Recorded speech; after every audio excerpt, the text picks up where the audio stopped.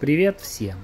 Сегодня хочу показать элитный четырехзвездочный отель Альбатрос Аква Блю Резорт Шарм-эль-Шейх. Понятно, что сочетание элитный и четырехзвездочный звучит как-то странно. Как будто оксюмарон, типа правдивая ложь или сухой дождь. И тем не менее, несмотря на то, что отель четырехзвездочный, он очень высокого класса. Честно говоря, я даже не понимаю, почему это четверка, а не пятерка. В Египте множество пятерок, которые по всем показателям в разы хуже, чем эта четверка. Сразу хочу сказать, мы отдыхали не в этом, а в смежном пятизвездочном отеле Альбатрос Аквапарк. Но так как мы можем пользоваться абсолютно всем, что находится на территории не только нашего, но и этого отеля – горками, барами, ресторанами, то мы можем оценить этот отель прямо до мелочей, да к тому же еще и сравнить его с нашим пятизвездочным. В Акваблю буквально все на достаточно высоком, хорошем уровне. И все-таки есть два довольно существенных минуса, о которых я скажу чуть позже. Про отель уже можно сказать очень многое, просто зайдя на его ресепшн а также сходив в туалет на ресепшене. Если зайдя в туалет там чисто, приятный запах, нет побитых зеркал, то 95% что во всем остальном отеле будет точно так же. Здесь у нас на ресепшене все в мраморе, все блестит, сияет, но если сравнивать с пятизвездочным Альбатрос Аквапарк, есть одно существенное отличие. Здесь очень низкие потолки – Поэтому в помещении, когда даже немного людей, стоит сильный шум. В отеле очень приятный, достаточно просторный, уютный лобби-бар с мягкими креслами, диванчиками. В баре готовят профессиональный кофе, американо, латте, капучино. Стильный интерьер, живые цветы, на стенах картины. И находиться здесь, я вам скажу, – очень даже приятно. В отеле множество корпусов, все они разбросаны по территории и исполнены в разном стиле. Вот этот основной корпус сделан в виде незамкнутого кольца, в центре которого есть бассейн, а также находится амфитеатр.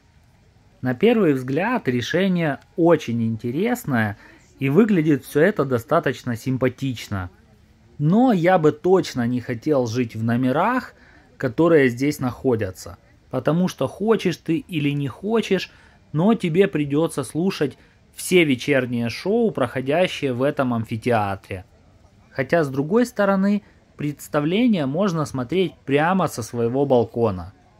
Очень большое количество столиков и стульчиков, и тем не менее мне кажется, что на вечерних шоу – Места всем желающим в амфитеатре все равно не хватает.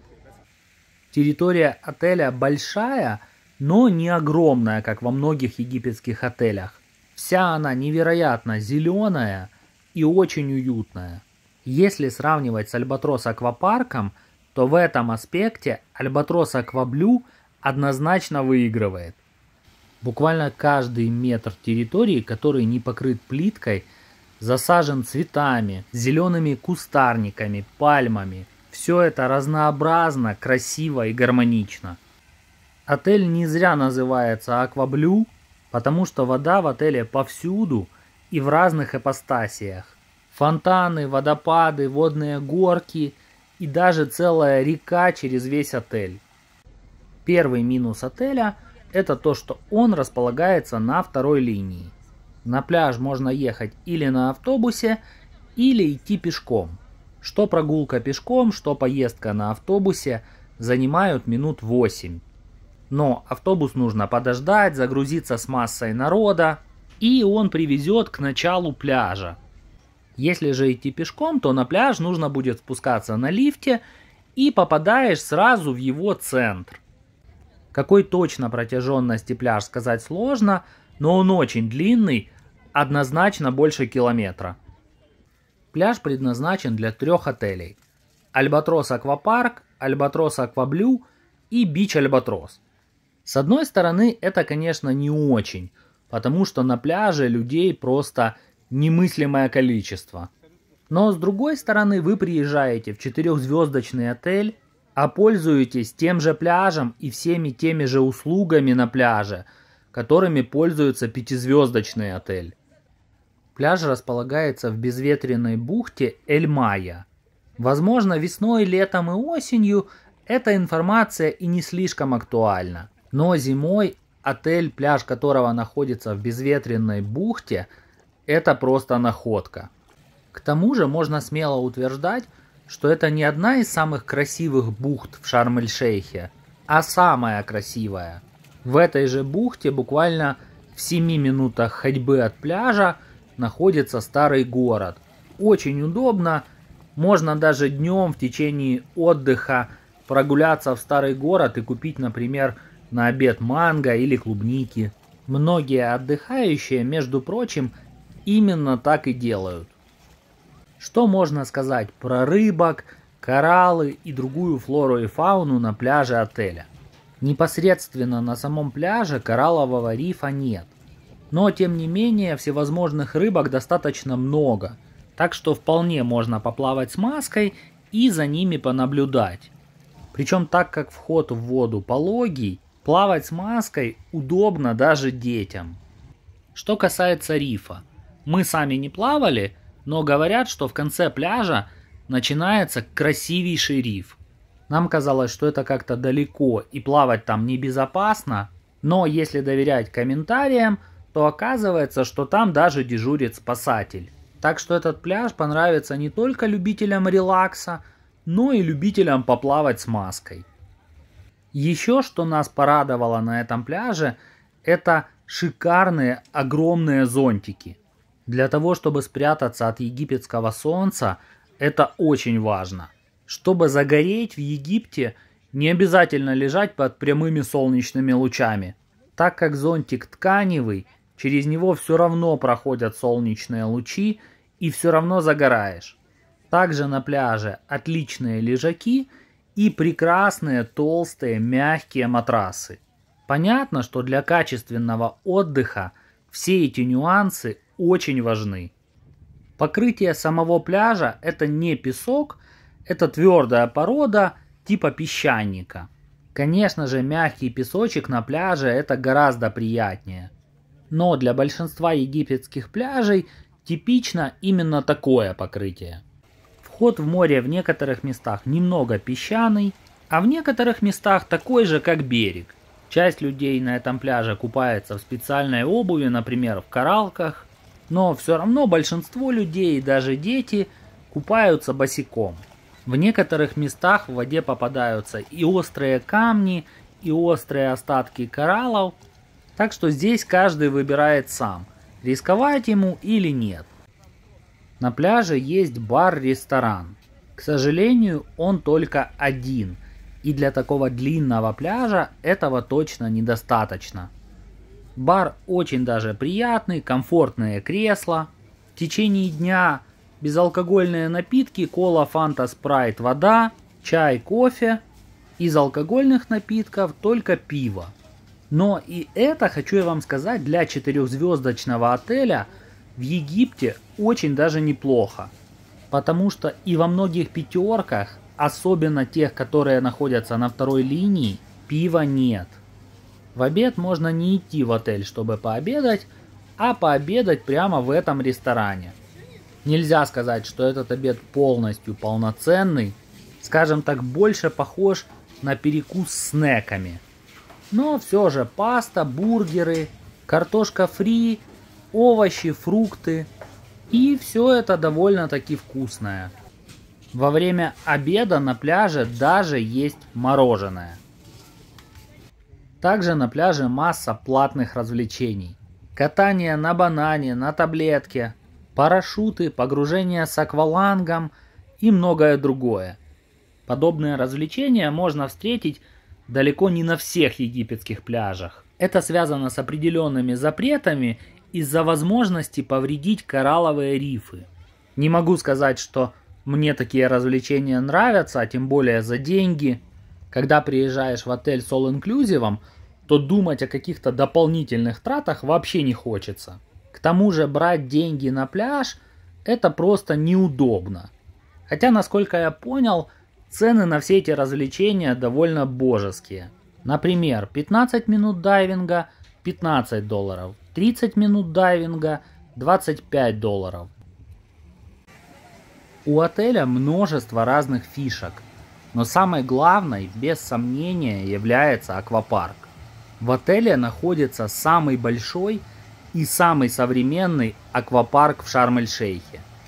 Точнее сказать, на территории отеля располагается только половина аквапарка. Вторая половина располагается на территории пятизвездочного отеля Альбатрос Аквапарк. И это на самом деле огромнейший плюс, так как гости четверки могут совершенно бесплатно пользоваться всей территорией, бассейнами, горками и барами в пятизвездочном отеле Альбатрос Аквапарк. На мой взгляд, очень интересный подход, который невероятно расширяет границы возможностей отдыха гостей отеля Альбатрос Акваблю. То есть сегодня мы проводим часть дня возле одних горок в одном отеле, вторую половину дня на пляже, Завтра мы уже в другом отеле и катаемся на других горках. Таким образом, наш отдых получается невероятно насыщенным, разнообразным и интересным. Тем более, что как ни крути, но пятизвездочный отель по многим показателям еще лучше, чем этот четырехзвездочный. У нас на канале уже есть полный обзор отеля Альбатрос Аквапарк, полный обзор ресторанов в этом отеле – обзор уникальной анимации под названием Neverland Show. Так что кому интересно, тоже обязательно заходите, смотрите. Ссылки на все эти обзоры будут в описании под этим видео. Единственное, что недоступно для гостей четверки в соседнем пятизвездочном отеле, это посещение ресторанов на завтрак, обед и ужин.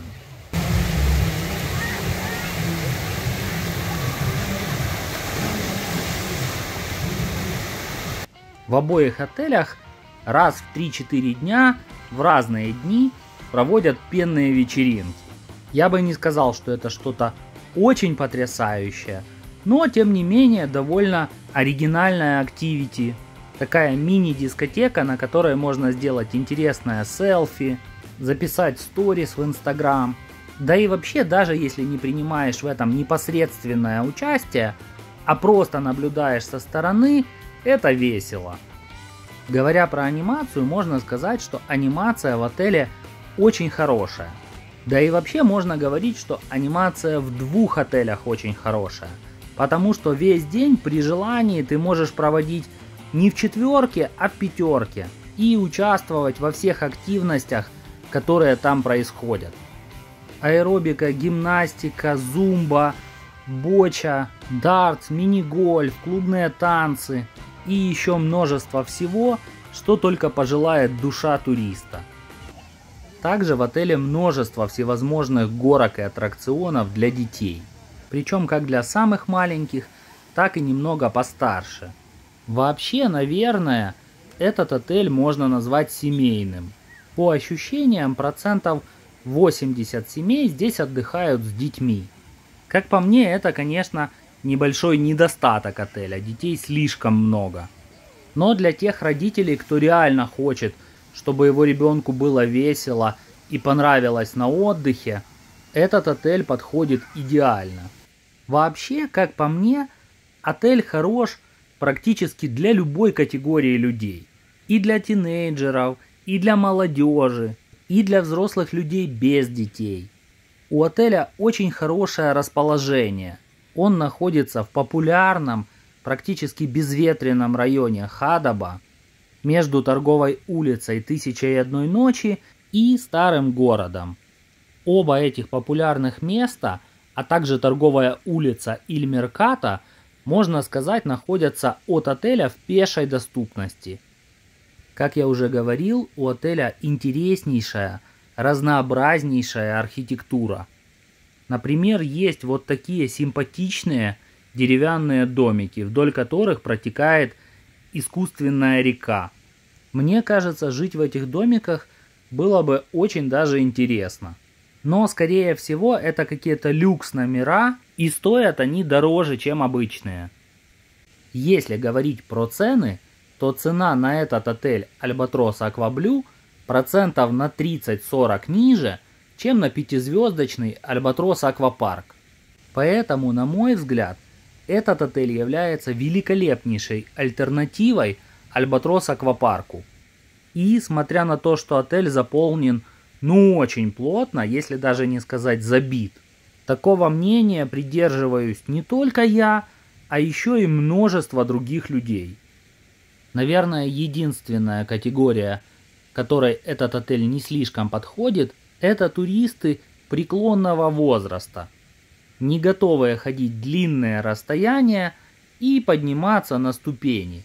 Нельзя сказать, что этих ступеней в отеле очень много, но тем не менее то там, то там они есть.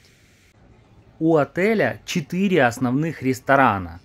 У них какой-то особый график работы, то есть на завтрак и на обед работает часть из них, а на ужин уже открываются все. Для примера, в пятизвездочном Альбатрос Аквапарке всего два основных ресторана. Все рестораны имеют какое-то определенное направление, то есть итальянский, рыбный или восточный. Но по сути набор еды во всех ресторанах практически один и тот же.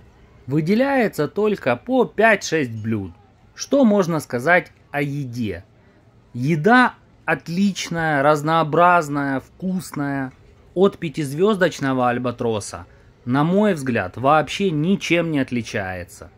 Единственное, чего я здесь не увидел, это креветок. Но их дают не каждый день, поэтому, возможно, и здесь они тоже есть. Кто отдыхал в Альбатрос Акваблю, напишите обязательно в комментариях, давали ли вам на ужин креветки. Вот этот уличный ресторан один из самых приятных. Но днем, скорее всего, он не работает, потому что без накрытий сидеть под египетским солнцем невозможно. Вот повар прямо на ужине стоит и режет овощи на салаты. И это на самом деле говорит очень о многом, что салаты делают из свежих, хороших овощей, а не из каких-то старых, оставшихся с прошлых приемов пищи. По хлебу тоже все видно, огромный выбор, мягкий, вкусный, и уже этим салатом и хлебом вполне можно наесться. Обратите внимание, как выставлены чашки, как аккуратно в салфетках лежат ложки, в каком деревянном красивом боксе находится чай. Все это казалось бы мелочи, но на самом деле все это совсем не мелочи. Для четырехзвездочного отеля, да что там говорить для четырехзвездочного, даже для пятизвездочного, такой подход говорит об очень высоком классе отеля. Есть соки, причем они лежат во льду, что для жаркого Египта невероятно важно. В отеле множество блюд во всех четырех ресторанах, которые готовят на гриле. Все эти блюда вот прямо действительно вкусные. Их ешь и хочется еще. Например, вот такая жареная курочка. Ну а вообще жарят и кебаб, и печень, и баранину, и перепелок. Показывать обычную еду типа риса или сате кажется уже не имеет смысла. Но смысл все-таки есть, потому что во многих египетских отелях даже обычную еду готовят очень плохо. Вот, кстати, жареная печень, о которой я говорил, и картошка фри. Вкус этой картошки фри фантастический. Не хуже, чем в Макдональдсе. Наверное, одно из самых никаких блюд в отеле это пицца. Казалось бы, ее жарят в печи, должна быть просто шикарная, но, наверное, что-то не то с рецептом. У нас там много, нас много было. Ну вот это, у нас там человек, у нас там 6 человек. Да. Вот люди попросили целую пиццу, говорят, нас там 6 человек, а повар говорит, нет, можно только один кусочек. И вот этот момент отчетливо характеризирует главный минус отеля. И этот минус просто невероятное количество людей. Во всех четырех ресторанах, возле всех горок, во всех бассейнах, в барах и остальных основных локациях отдыхающих, как муравьев в муравейнике. Несмотря на то, что в ресторанах огромное количество столов, они практически все всегда заняты. Нельзя сказать, что невозможно найти себе место или везде огромные очереди, но людей невероятное количество, и это, мягко сказать, напрягает. Также во всех ресторанах, в лобби и в других помещениях, в отличие от пятизвездочного отеля, низкие потолки, поэтому в помещении стоит постоянный гам. И это, конечно же, релакс отдыху тоже не способствует. Сейчас мы находимся в рыбном ресторане. Честно говоря, в Египте я не встречал четверок, в которых есть четыре разнонаправленных ресторана. Просто так случилось, что именно этот отель принадлежит сети Альбатрос. Все свои отели сеть поддерживает на очень высоком уровне. И ей проще поддерживать сервис как в пятерке, чем как-то опускаться вниз. Лежит рыба на льду в холодильнике, чтобы продемонстрировать, из чего готовят. И вот еще один вид жареной рыбы. А также жареная рыба в кляре. То есть мы увидели три вида по-разному приготовленной рыбы. И это, по-моему, очень даже неплохо. 5-6 видов мяса, 3 вида рыбы, приветливый профессиональный персонал и очень даже симпатичный вид – красиво украшенный столик, наверное, у кого-то день рождения. Вот так вот люди будут сидеть здесь, ужинать и наслаждаться таким симпатичным видом на бассейны, на горки, на светящиеся огни. Конечно бы было лучше, если бы это был берег моря, но и так очень хорошо. Что у нас по фруктам? Финики, бананы, яблоки, хурма, апельсины, гуава – Уверен, что в сезон здесь есть и клубника, и дыня, и арбуз. Также в отеле очень вкусные восточные сладости. В пятизвездочном отеле выбор восточных сладостей больше, но, возможно, в каком-то из ресторанов они есть еще. Итак, какое резюме? Отель прекрасный и является достойной, но гораздо более дешевой альтернативой пятизвездочному Альбатросу. Безусловно, чтобы ощущать разницу, нужно ездить в совершенно разные отели разного класса. Так вот, если вопрос упирается в деньги, то я скорее бы, лучше бы три раза съездил в подобный отель, чем два раза в рядом стоящую пятерку. Я надеюсь, что это видео вам понравилось и поможет вам при планировании вашего отдыха.